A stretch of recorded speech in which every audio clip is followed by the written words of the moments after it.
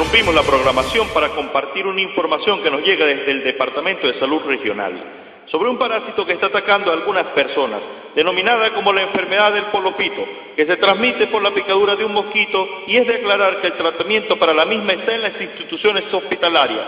Y la etapa más peligrosa es la inicial, donde los síntomas de las personas se manifiestan con desmayo y sonrisas injustificadas, lo que confunde a algunos en pensar que la persona está jugando una broma. Las personas que estén alrededor deben aplicar primeros auxilios para un desmayado y llevarla al centro de salud más cercano. Y por ninguna razón poner a la persona a oler alcohol como de costumbre, pues podría causar efectos secundarios.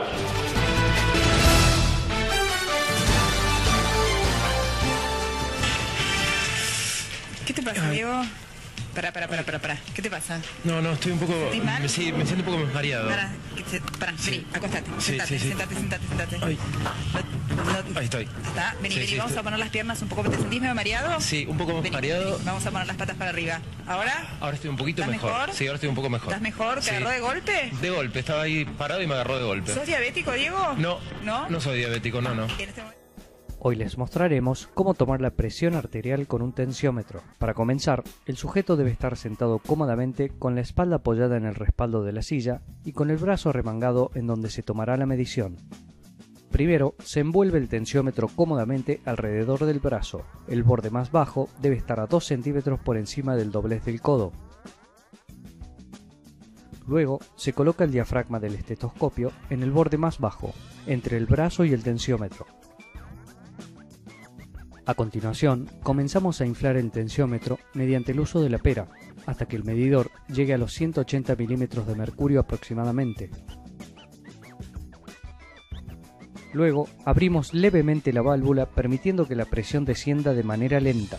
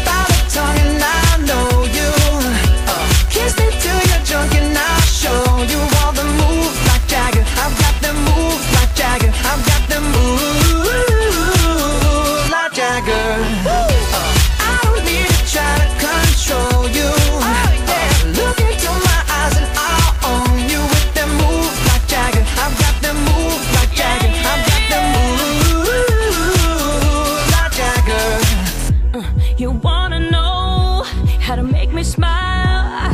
Take control.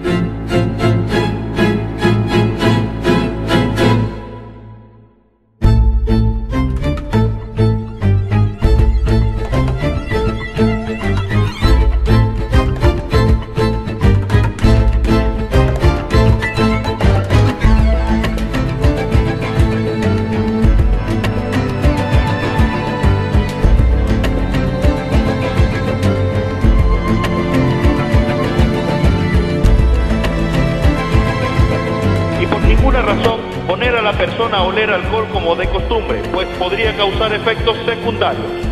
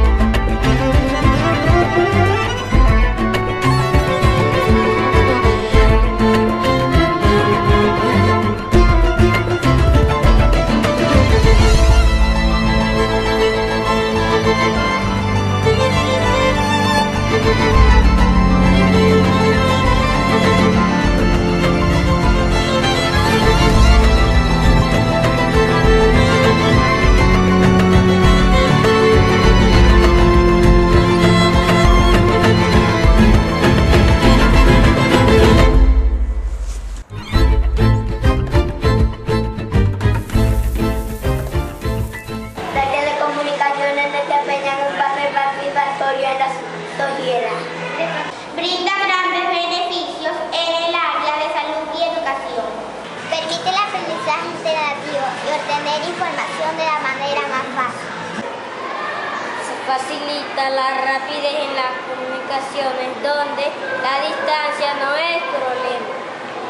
Si le damos un buen uso, podríamos salvar muchísimas vidas.